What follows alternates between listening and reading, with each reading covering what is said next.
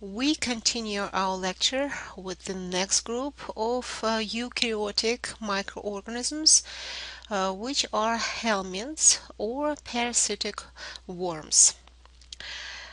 What you have to remember is uh, worms are most of them uh, multicellular and macroscopic.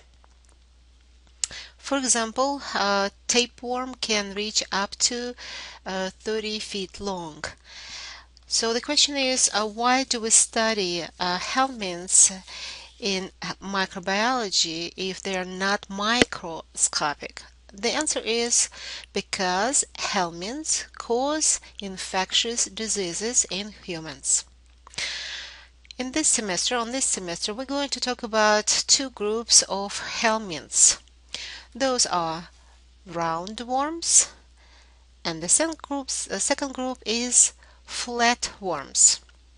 From group of flatworms we're going to cover flukes and tapeworms because those two groups that infect people.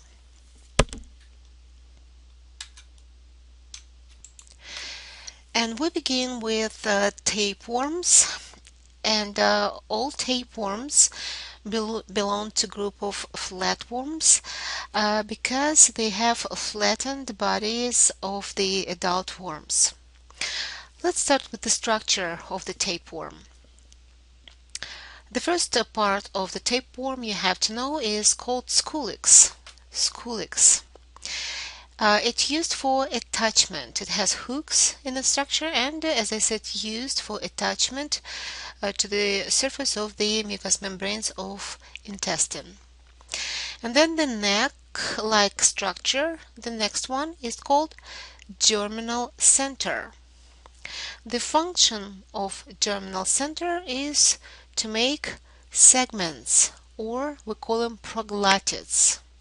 So this is the next part of uh, tapeworm. You have to know the rest of the body of the tapeworm is actually made of proglottids or segments. What is the function of those proglottids? Proglottids produce or make and fertilize eggs. Because each segment can Uh, produce and fertilize eggs, it means tapeworms are hermaphrodites. That means each proglottid, each segment has males and females reproductive organs. I already told you that a tapeworm is a huge worm. It can reach up to 25 to 30 feet long. What else you have to know? You have to know two types of tapeworms. Those are beef tapeworm or Taenia saginata and pork tapeworm or Taenia solium. We continue with the life cycle of the beef tapeworm. The life cycles of some tapeworms pass through two forms. Adult form or adult worm and larva or larval form.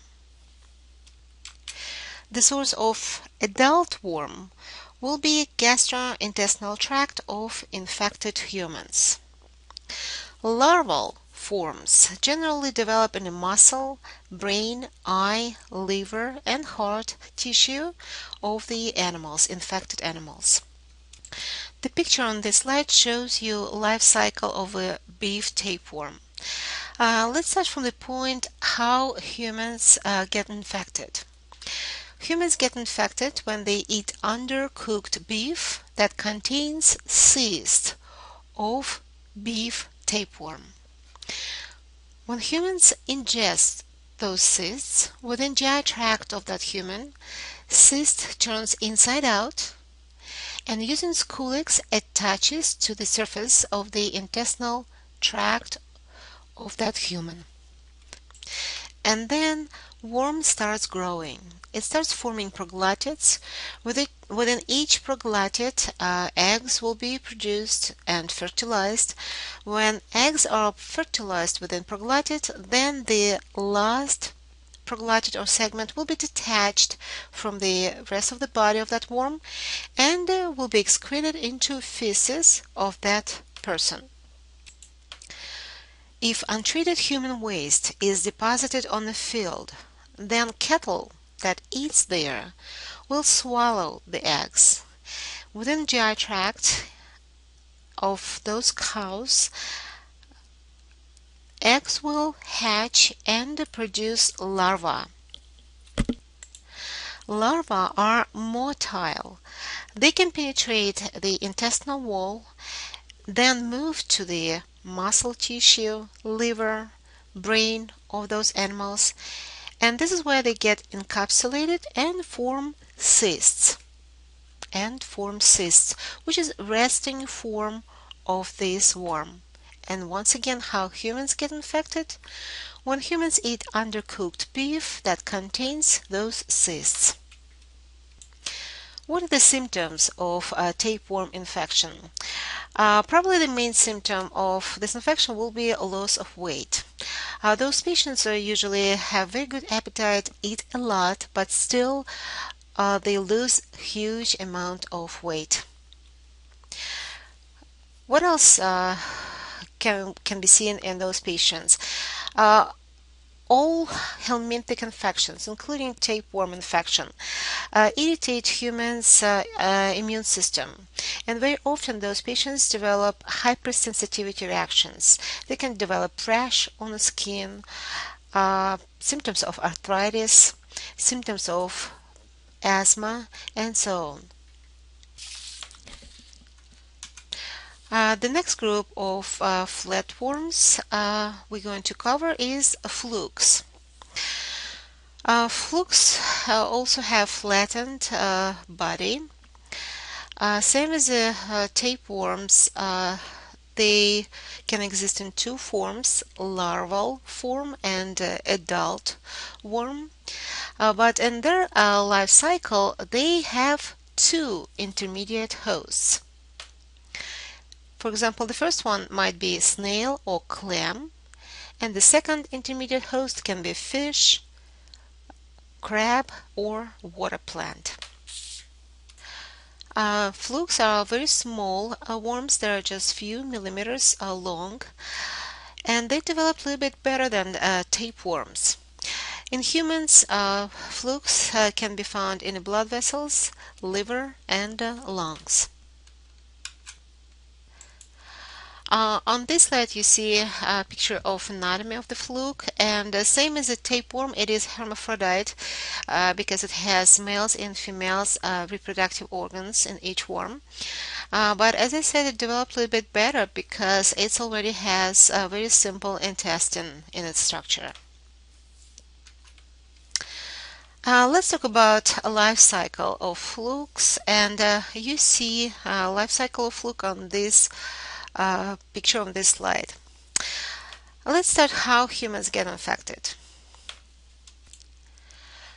Uh, people get infected when they eat second intermediate host, for example, crawfish on this picture, that contains larva of fluke. Within GI tract uh, of human, larva will develop into adult worm, which starts producing eggs eggs will be excreted in the feces.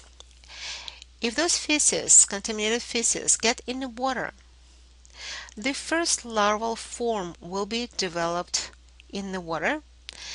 Larva can swim, so larva will swim and look for first intermediate host. On this picture you see snail. Then the first larval form penetrates uh, shell of the snail and within the body of the first intermediate host it will develop into second larval form. The second larval form leaves body of the first intermediate host and swim and look for the second intermediate host and again once again on this picture it will be a crawfish. Within the body of the second intermediate host, larva will develop into cyst. and then humans get infected when they eat infected second intermediate host. We're finished with the uh, first group of uh, helminths, uh, flatworms, and the next group uh, will be roundworms. Uh, roundworms develop much better than uh, flatworms. Uh, for example, they already have their own very simple nervous system. their digestive system is completely developed already and also they are not hermaphrodites. They have separate male and female worms. And uh, the first group of roundworms we're going to cover is pinworms or Enterobius vermicularis. A pinworm infection is the most common helminthic infection in the United States. What group of patients will be affected by pinworm infection? Children. Uh, children usually get infected uh, by this infection when they uh, take to the mouth um, objects uh, that uh, have uh, eggs of the pinworm on the surface. So basically we can say that uh, pinworm infection is transmitted by fecal oral route of transmission. When eggs of pinworms are ingested, within GI tract of that uh, person, they will hatch and develop into male and female adult worms. Male and female uh, adult worms mate uh, in the intestinal tract and then the females crawl out and lay their eggs on the skin or mucous membranes near their anus.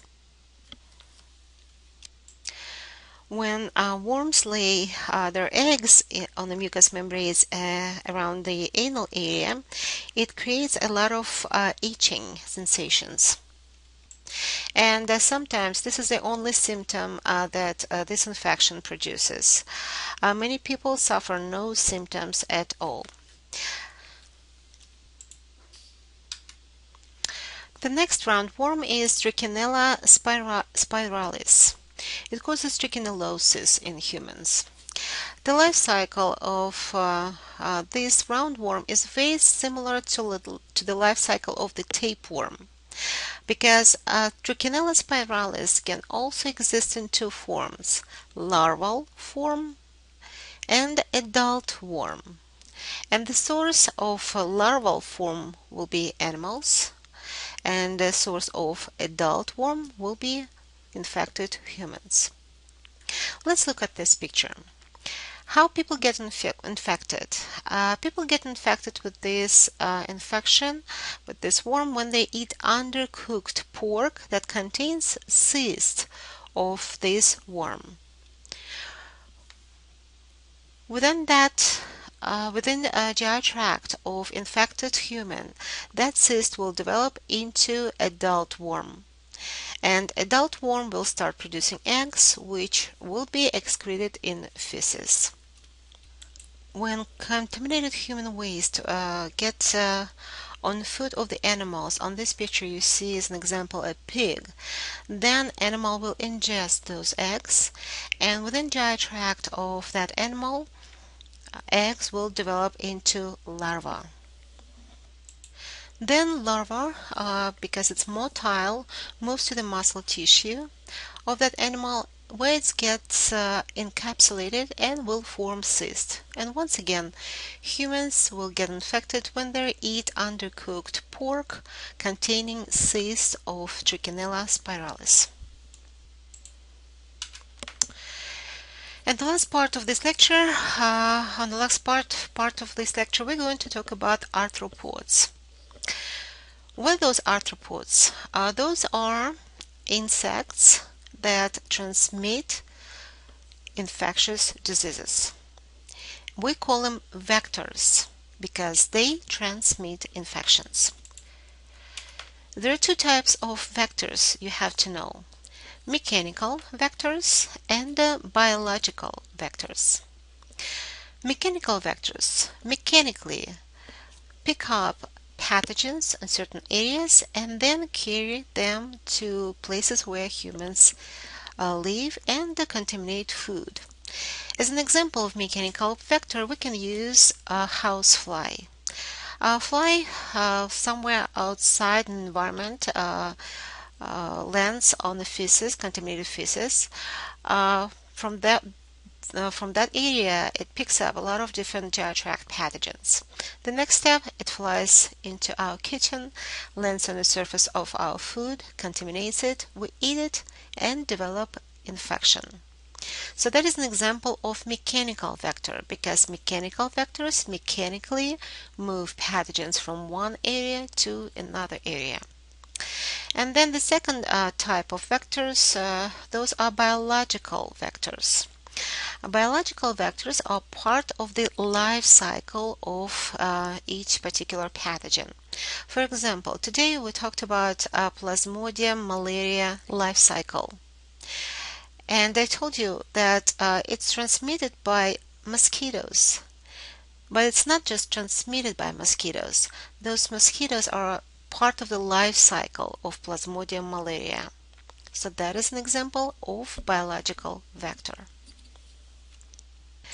Please remember, besides the fact that vectors um, actually transmit infections, they also can cause hypersensitivity reactions or allergic reactions in our patients because a lot, a lot of them are able to bite and inject venom.